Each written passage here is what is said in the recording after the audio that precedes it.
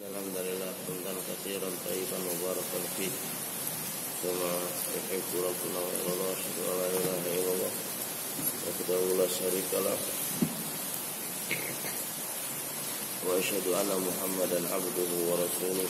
أما بعد وان أصدق الحديث كتاب الله وخير الهدى إلى النبي عليه الصلاة والسلام وشر الأمور محدثاتها فإن كل محدثة بدعة فإن كل بدعة ضلالة wa kullu dhalalatin finnar.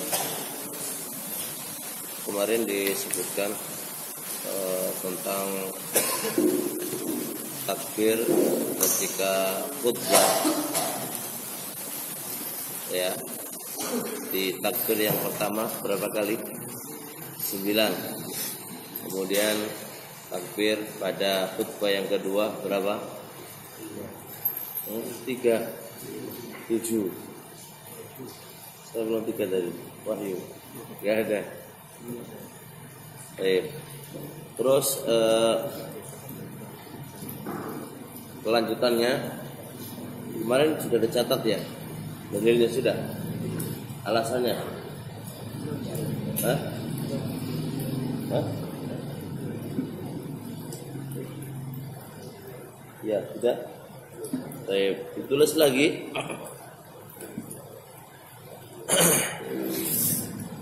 Wabihi qala an-Nawawi fil Majmu' Wabihi qala an-Nawawi fil Majmu'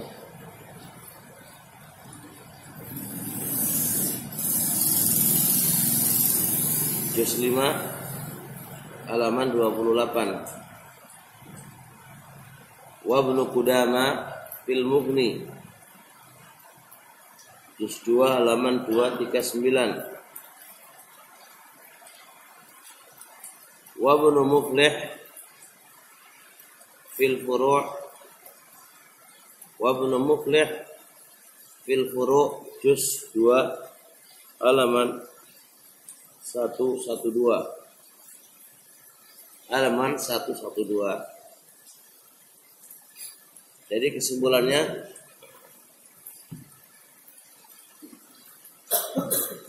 secara madhab baik itu Syafi'iyah, Hanbaliyah dan juga Malikiyah mereka menyunakan eh, mengawali khutbah dengan sembilan takbir pada khutbah yang pertama. Kemudian eh, mengawali khutbah yang kedua dengan takbir sebanyak tujuh kali.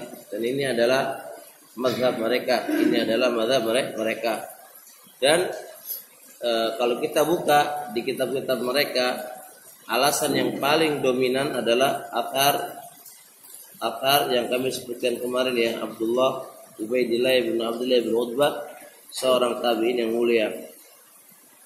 Kemudian selanjutnya Qala al-musannifu rahimahullahu taala wa yukabbiru. Qala musannif rahimahullahu taala fi matan Abi Syuja' wa yukabbiru min hurubi syamsi min lailatil idi ila ayyadkhula al imamu fi salati disyariatkan membaca takbir. Takbiran itu ya disyariatkan membaca takbir. Mulai dari terbenamnya matahari dari malam hari raya ya dari malam hari raya sampai imam masuk di dalam sholat id. Sampai imam masuk pada sholat id. Jadi Syafi'iyah berpendapat Syafi'iyah berpendapat kapan kita mulai takbiran? Kapan kita mulai takbiran? Dijelaskan di sini apa sejak terbenamnya matahari, ingat terbenamnya matahari di malam hari raya. Ya, kalau besok hari raya, besok hari raya berarti apa? Malamnya. Malamnya ketika matahari terbenam. Matahari terbenam maghrib, pas awal itu boleh seseorang itu takbiran, ya, boleh seorang itu takbir, takbiran. Sampai pada kapan? sampai imam masuk di dalam sholat. Kalau imam sudah masuk dalam sholat, jangan takbiran dong sholat kan gitu kan. Masuk takbiran ya sholat, ya sholat. Kira-kira alasan mereka ini apa? Alasan mereka ini apa? Ini juga poin ya Pak. Sebelum kita lebih lebih sebelum kita mengkaji masalah kayak gini nih kan, dulu ya walaupun kami sudah dari Yaman ini, ya kan, terbayang di benak kami perbuatan orang-orang masyarakat ini nggak punya dasar, nggak punya dasar. Bahkan mungkin hampir-hampir kita ini katakan ah bid'ah semuanya ini. Sehingga nggak boleh orang takbiran malam hari hari raya. Nggak boleh orang itu takbiran malam hari hari raya. Karena apa? Karena suasana yang kayak gini ada di Indonesia aja gitu kan. Kita perlu ilmu di Yaman. Nggak ada model yang kayak gini nggak ada gitu kan. Sehingga asumsi pemikiran kita karena nggak ada berarti berarti apa? Nggak benar lah apa yang dilakukan oleh orang Indonesia ini. Dan itu asumsi ya Pak maka setelah dikaji lagi dan dikaji lagi ternyata e, tidak semisal itu. Berapa banyak ya asar-asar para sahabat dan para tabiin dan tabiut tabiin mereka melakukan apa? Takbiran di malam hari raya. Berapa banyak? Berapa banyak? Masa muda dengan itu kita katakan apa? Bid'ah. Eh? Wah, berarti para pendahulu kita berbuat bid'ah ya. Eh? Makanya anak akan uh, datangkan omongannya Imam Syafi'i rahimahullah taala dan bagaimana sisi pendalilan beliau. Berarti kan firman Allah Subhanahu wa taala lihat walitukabbilul iddata walitukabbirullah ala mahadakum. Berarti kan kata Allah ini walitukmilul iddata walitukabbirullah ala mahadakum. Di sini Allah mengatakan dan sempurnakan bilangan. Dan bertakbirlah kepada Allah Subhanahu wa taala atas apa-apa yang Allah telah berikan hidayah kepada kalian. Maka uh, para ulama wal madzhabul jumhur jumhur ulama mengatakan apa? Walitukmirul iddah, menyempurnakan bilangan. Dan awal penyempurnaan bilangan itu otomatis apa? Ketika malam hari hari raya. Ketika matahari ter, ketika matahari terbenam itu berarti sudah sempurna Contoh, sekarang antum puasa tanggal 29, mau tanggal 30. Antum sempurnakan berarti apa? Tanggal 30 kan? 30 Anda sempurnakan berarti kan malamnya. Malamnya kan malam satu, ya kan? Ya enggak? Mulai kapan dia dikatakan eh, tanggal 1? Ketika matahari ter terbenam. Berarti Anda sudah sempurnakan itu. Lalu Allah wali tukabbirullah, maka bertakbirlah kepada Allah. Maka di sini anjuran atau syariat takbir ketika apa? Ketika sempurna bilangan. Dan bilangan sempurna nggak mungkin kecuali apa? Di malam hari raya. Di malam hari hari raya. Dan di malam hari raya adalah dan e, mulainya adalah ketika ketika apa? Ketika matahari apa? terbenam. Dan itu banyak ulama yang mengatakan kayak begitu itu. Banyak ulama yang mengatakan kayak yang demikian yang demikian itu. Baik. Ditulis hewan Inda qawli wa yukabbiru min ghurubi syamsi min lailatul id istadallu bi qaulillahi ta'ala istadallu bi qaulillahi ta'ala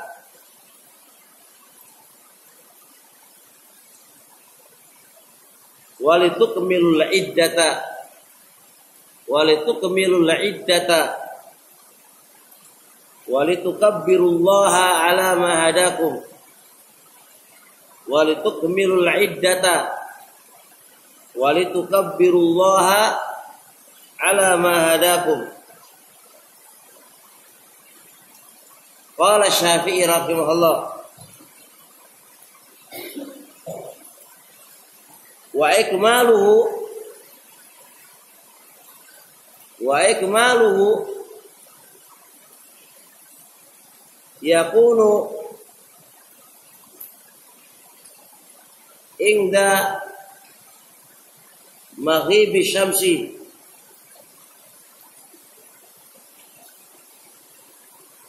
Min akhir yaumin min ayami syahri ramadhana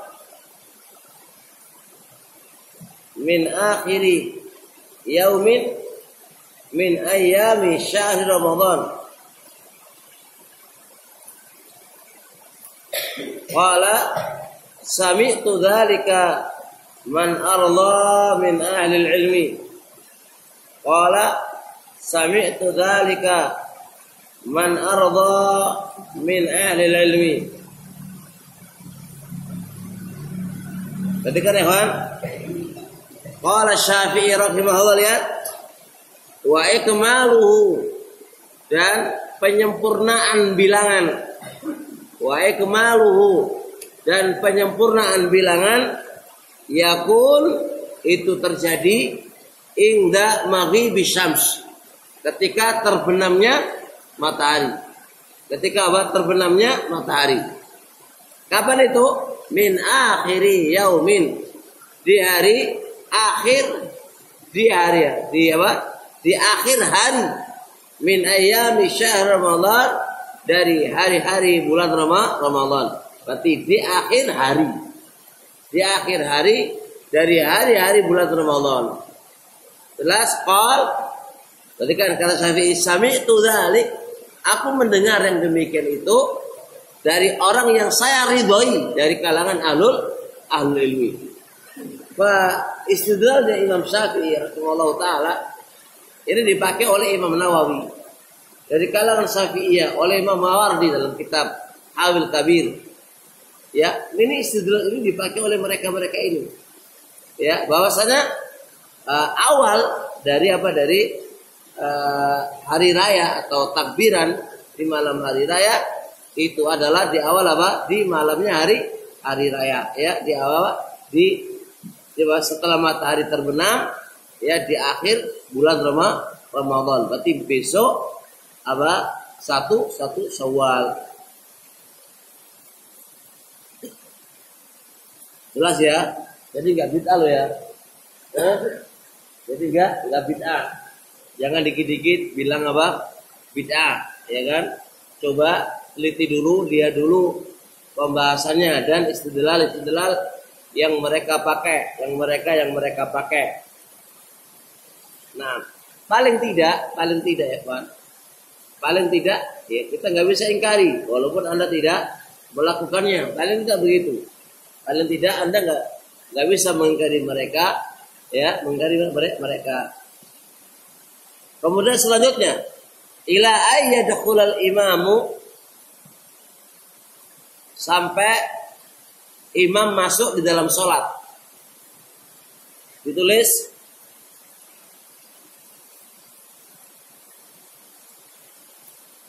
Ja'a aniz zuhri Ja'a aniz zuhri Inda ibni Abi Syaibah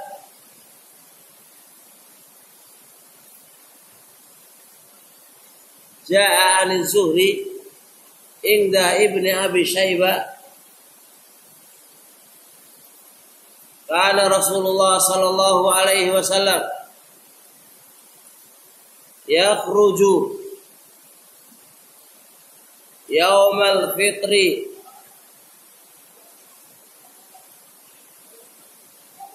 wa yukabbir hatta ya'tiyal musalla. Wa hatta yaqdiya salata. Fa idza qada salata qata at-takbir. Fa idza qada salata qata at-takbir Al-hadis sahahahu al-Albani di As-Sahihah Rakam 171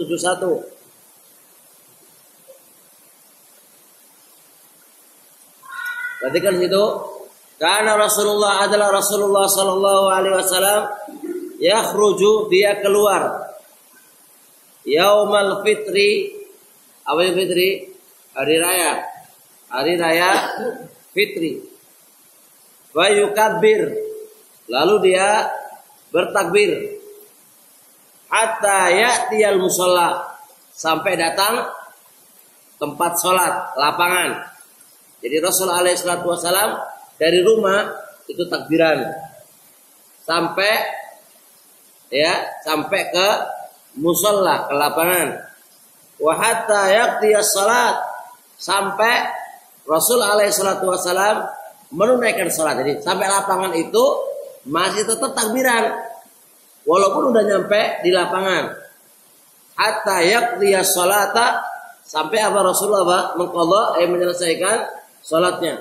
Fa idza qadha salata kalau Rasul ada udah selesai salatnya kata at-takbir memutus tak takbiran.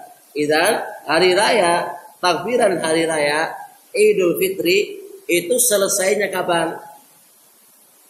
Ketika selesai salat. Ketika selesai salat kata at-takbir. Rasul alaihi salatu wasalam memutus takbiran. Memutus apa? Yang artinya nggak takbiran lagi sudah. Ya, nggak takbiran lah lagi. Ada kaum muslimin masih takbiran? Ada. Masih ada. Selesai sholat di mana?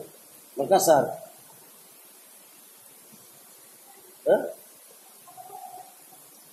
Apa?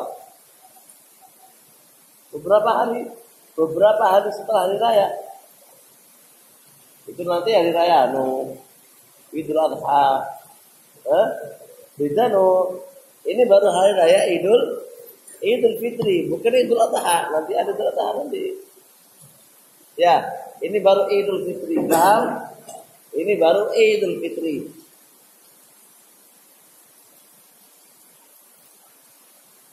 Nah, ini baru sekarang. Wafil adha. Kayaknya habis suara saya karena apa? Kena hujan ini ya. Eh? Atau dengar tapi kedengaran ya? Eh? Keras? Kurang? Nah ya udah sampai sini dulu aja. Atau udah volume udah volume pas loh itu. Volumenya volume pas. Aku malah mendengar. Guys, Subhanakallah bihamdik. Asyhadu an la ilaha illa anta astaghfiruka wa ilaik.